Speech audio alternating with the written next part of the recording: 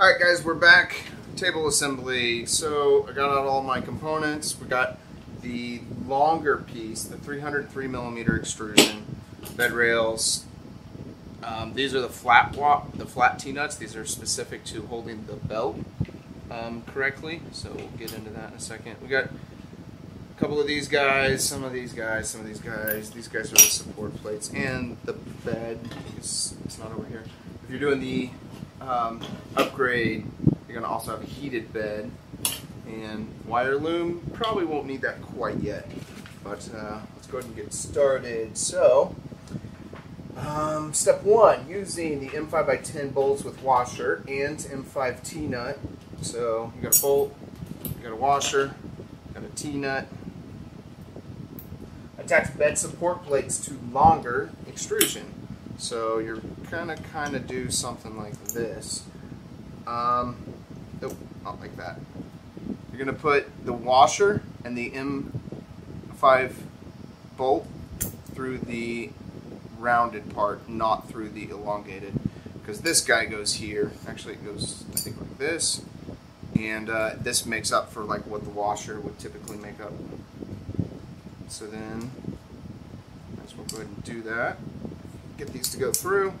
Might be a little tight on the rails, so you may have to, like none of these, I haven't really modified or cleaned up anything. I'm just straight out of the box.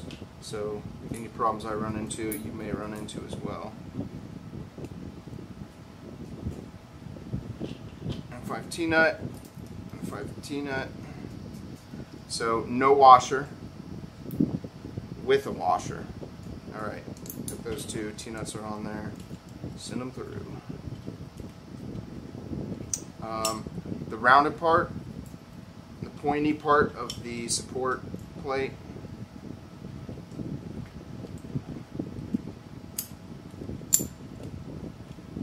points out.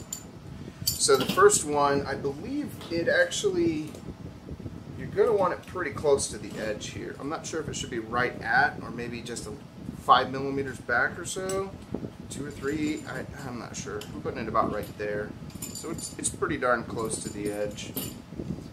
Um, second one, you definitely want this to be perpendicular to the 2020. And probably somewhat tight. Now I would call this the front of the table. The one that's short will be at the front. The one that has a longer 2020 sticking out, this will be the back. So I've already done this wrong. So I'll have to adjust the position of this. Um, and why I did this wrong is because this is the limit switch, and this should be on the front of the plate.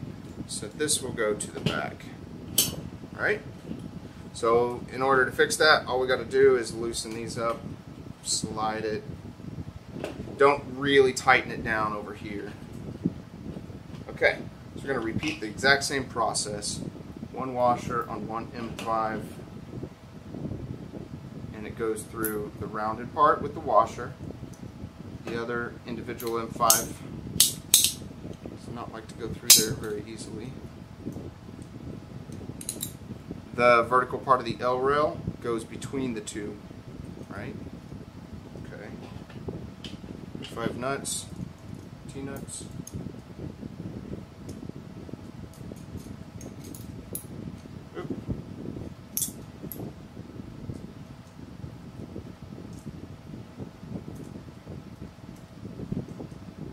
Check. Okay. Now the one with that extra hole over there for the end stop, that goes over here. Let's go through.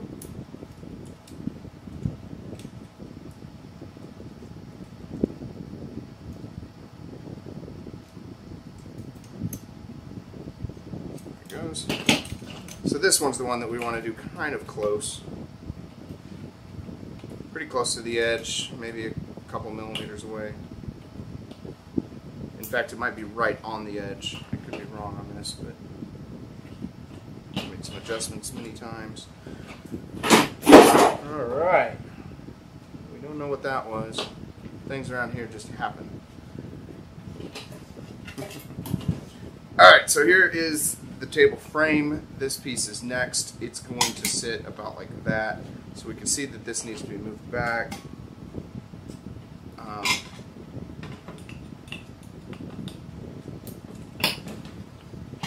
so if we tighten this one up kind of a little bit on the snug side, keep this perpendicular, set this guy on here, and don't forget we still got the bed.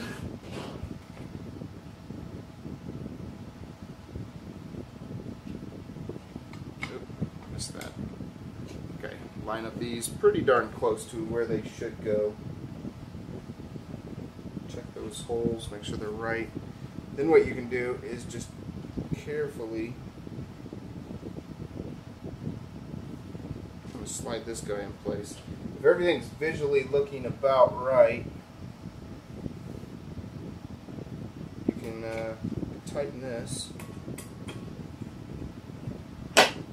And we still have room, that's one of the bonuses about that, is we still have room to adjust that. So we can do a test fit real quick. Um, I wouldn't, yeah, test fit's probably a best way to get it accurate, so we might as well do it that way. Um, literally going to just run the run the bolts through the holes, no springs, nothing like that. Just make sure they go in position correctly.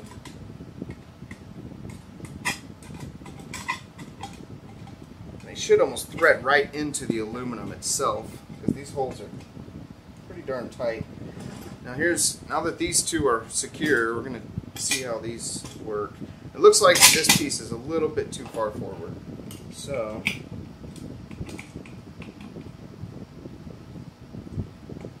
back it up just a tiny bit. There we go. I can visually see that this one,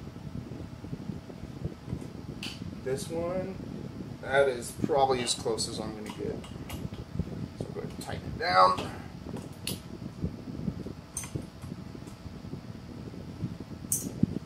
All right, there we it.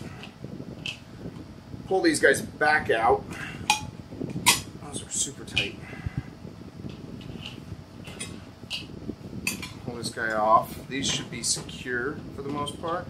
I'm going to try to avoid twisting the rails, but definitely make sure this is all snug.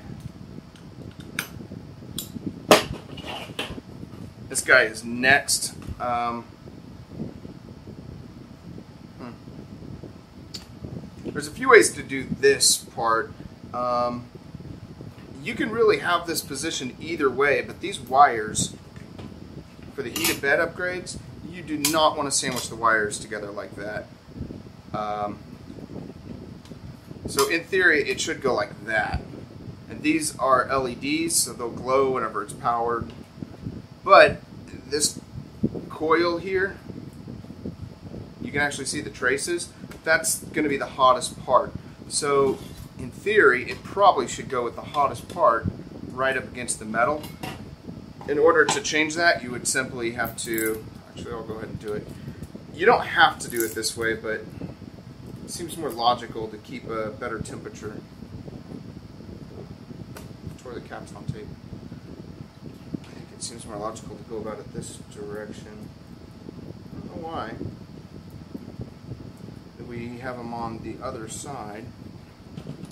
Well, if you do it normal, then I'm sure it will work. If you do it this way, I'm sure it will work. Um, boy, there's a discrepancy there. It's very curious. I think part of the reason is the LEDs. You won't be able to see them back here because they'll be facing downward. But you'll get better heat transfer going up through that. So it probably is worth it. And you'll just have extra light glowing out the bottom. All right. How I recommend to do this do something like this. Um, pick the side of the plate that looks the best. It may not be perfect. Some people actually take uh, pads and scruff up the aluminum so it's like a brushed aluminum look, and that actually can help with adhesion if you're having difficulties. Um, yeah, we're gonna just start with two sides first. Um, put the springs, bolts through on one side. Springs come in next. This is all set sideways so the springs don't fall off. Thread it in there. I'd recommend doing two at a time. If you do one at a time, it, for some reason it can be difficult.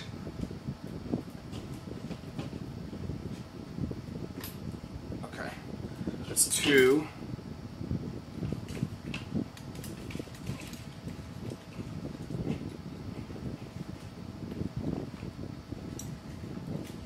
We, you may want to zip tie through this hole.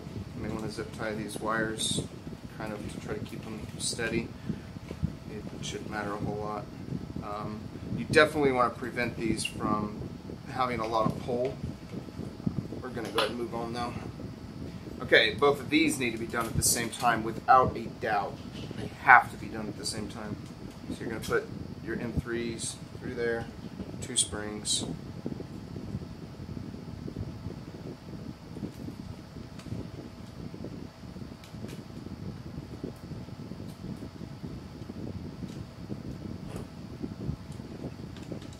Start threading it in. If if these bolts aren't threading into the aluminum rail, then uh, you'll have to use these M3 nuts. And I, the nuts are included, um, just to make sure that, because the holes might not be to spec. In fact, the intention isn't that these aluminum rails are threadable. Was not the design. it just so happens that they are extremely tight, and so it works pretty well to make it that way. In fact, I've had problems in the past with these nuts actually working their way off over time and falling off, and the whole thing lifting up. Um, that's definitely something that needs to be prevented. All right. So you'd also put M3 nuts here. Uh,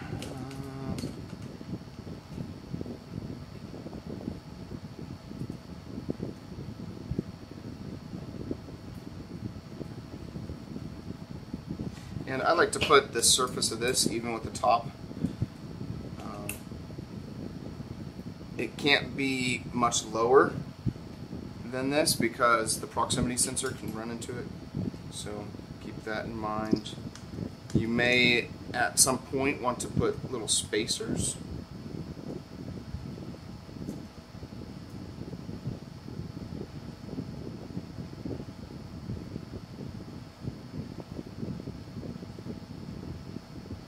You may want to put little spacers in between here to help increase the tension of these springs because especially if you don't have the heated plate, it um, these springs aren't really super solid. Okay, there is one last little piece, two last little pieces. Um, you've got the proc or the end stop switch, so you'll take this M3 by 50, thread it onto an M3 nut.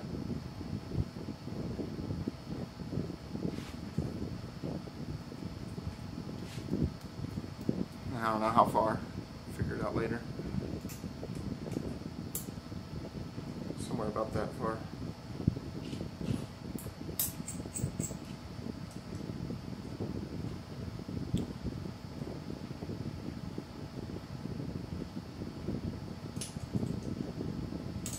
Run this through there.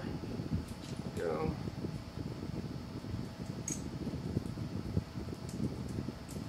Not really sure how far it goes through. It just depends on how you assemble your printer. Um, I believe it actually goes pretty far.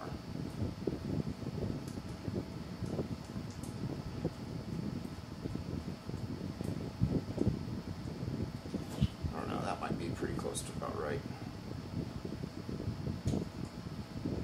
Something like that. Then, your belt.